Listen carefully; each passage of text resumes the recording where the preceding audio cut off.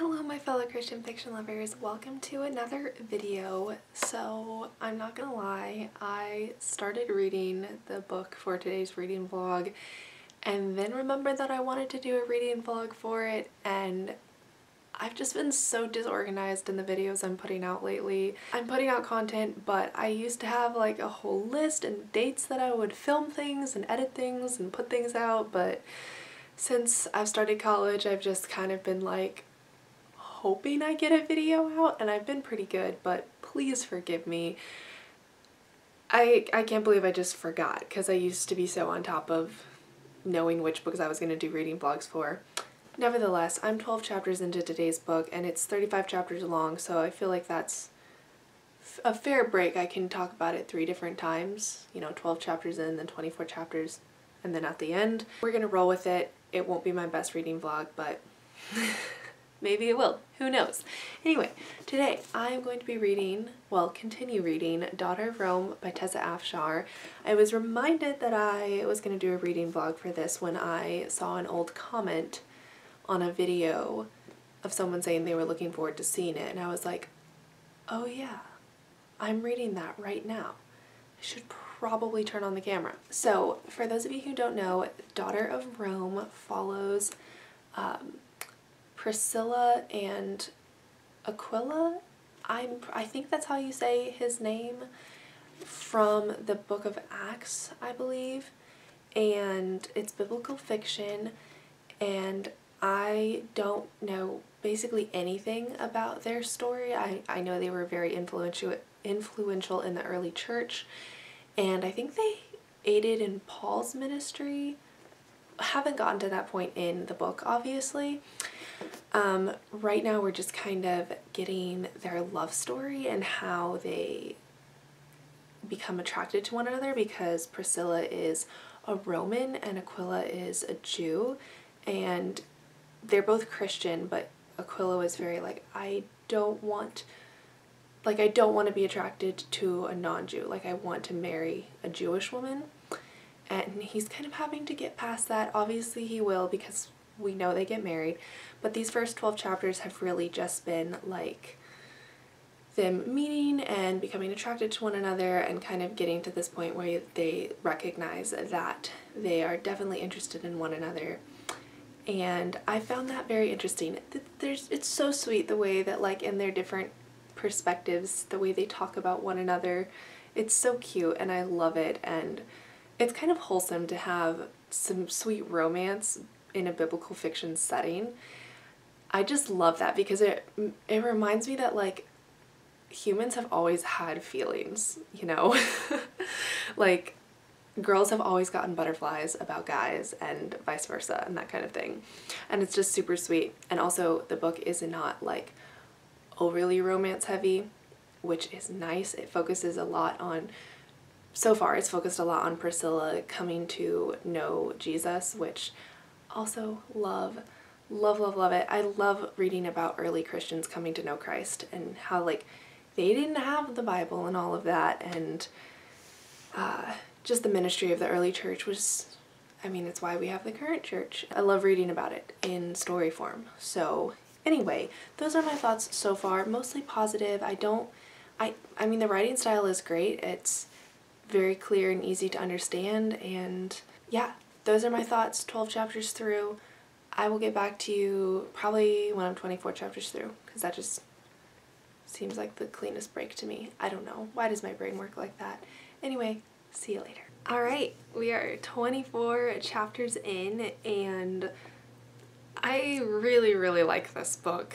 Like, I haven't, I haven't read a biblical fiction in a while and I forgot how much I just love the atmosphere of or the this atmosphere, the setting of a biblical fiction, a really well written one. And this one is so well written and I feel like it's appropriate with like how historically accurate it is alongside how how much creative license the author uses when describing and explaining events and people that, you know, actually existed. Obviously it is fiction so there has to be some elements that are imagined, but I think there's also a lot that actually did happen and just the weaving of the two is spectacular and I really appreciate it. It's no surprise that the characters do fall in love and get married. Just, I don't feel like that's a big spoiler at all because it's in the literal Bible. So I will say that the way that they get engaged and the way that Aquila proposes is like the most over dramatic proposal scene I have ever read. And like it was so sweet the way that he like declared his love and they'd kind of gotten into an argument before that. And he basically or not an argument but some things had happened and they weren't really on speaking terms. And the way he just kind of so over dramatically like it's like I love you and I'm sorry and like marry me. It just I don't know. I just found it so funny and I was like, there's no way that would have happened. That's the only thing that I was kind of like, you're kidding me right now. Um, but that, besides that one scene, everything else has been super realistic and I feel like it actually would have happened. I just could not stop like laughing at this one scene and how over dramatic they were being. I didn't realize how much it made me laugh until I started filming, I guess. so I was reading the back because I don't want to spoil too much, but this is kind of on the back. Basically, at one point, Priscilla and Aquila are uh, banished from Rome, which is where they met and fell in love and got married, and they had been ministering in the early church. Also, love the inclusion of how both Priscilla and Aquila were like ministering, and Priscilla was able to help minister because she was of Roman descent and like she knew how to like minister to the Romans, whereas the Jews, like they just knew how to relate to the Jews.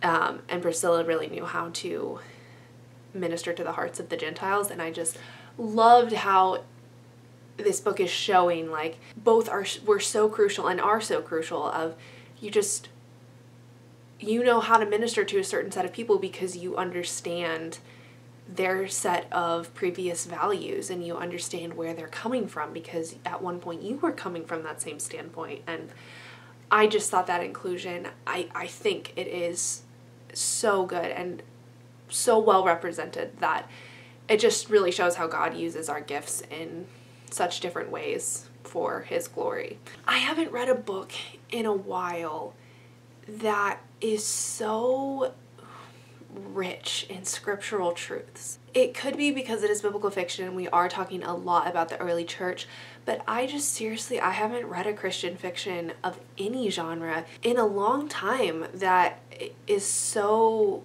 rock solid in the way it presents the gospel and it's teaching me things and I'm loving it. And it's making me want to go read Acts, which I am hoping to read soon in my personal devotions, but like I really want to get into Acts and read about the early church because it was such a foundational time and I'm I just loving reading about it. So Priscilla and Aquila are no longer in Rome. They've been banished and it's kind of interesting how they're banished. I, I the creative license displayed is very interesting in that aspect. I'm not saying I disagree with it. It's just a little it's interesting and I did definitely didn't see the story going there and I'm hoping there's some resolution between some certain characters though I don't know how that could play in with such little time left in the story. But now they're in Corinth and they just met Paul like the Paul who wrote over half of the New Testament. So that's really cool. I'm eager to see where their ministry in Corinth goes next where the story goes. It's got a lot of really cool twists and turns. I'm I'm really enjoying it so yeah, those are my thoughts. I will see you once I am finished. Plot twist, I actually finished Daughter of Rome last night, but I was, it was late, I was tired, I didn't want to wake people up, so I didn't talk about it last night, but I did finish it the same day as the last clip in which I spoke, which I don't normally do. Like, I've been really a slow reader lately, but this book just hooked me.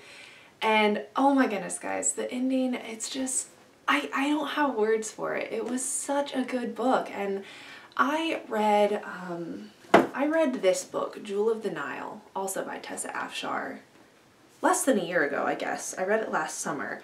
And I really liked it. I thought it was really sweet and really simple, but yet it was still a good book. And I thought like, oh, she just writes simplistic, very sweet, like romantic biblical fiction. But this book, like, it packed a very good punch that was kind of lacking in this one, but this one was, it was just a whole different style, like if that makes sense. So I was expecting this one to resemble Jewel of the Nile, which it didn't, like, and that's a good thing. Both are great books, both are awesome reads, and I recommend both of them, but this one is truly like a sucker punch in your gut for like the reconciliation, the redemption at the end was just so beautiful and so like expected yet unexpected at the same time. And I just adored it so, so much. One thing I kept realizing the longer I read it is Priscilla and Aquila are characters in Jewel of the Nile. Like the main character in this book like stays in Priscilla and Aquila's home. Also, I just realized one of the characters we're introduced to in this book is the love interest in this book. I think, based on the names. I have a terrible memory. Truly I do. But also I read like so many books, it's forgivable. So anyway, confusion aside, putting the pieces together aside, highly, highly recommend Daughter of Rome. I am so glad I read it and it's always interested me, the whole description of it. Every time I've seen it I'm like I want to read that book. Like I just know that I'm gonna enjoy it. So I did go into this book with pretty high expectations and I left satisfied. Subtract like just a couple of over dramatic scenes in my opinion and this is a really stellar book. One of the best biblical fictions I've ever read. And I'm a high critic for biblical fiction. Like I don't just toss out that praise for every biblical fiction I read at least I try not to. Correct me if I'm wrong. So this definitely makes me want to read more Tessa Afshar. This book, I want to give it five stars, but there's just a couple elements to it that make it more like four and a half stars. And I could talk more about that in another video if you want. This I know this is already probably a really long video, but yeah, I I loved it. I definitely want to read more by this author. And those are my thoughts. That's my reading blog slash review of Daughter of Rome.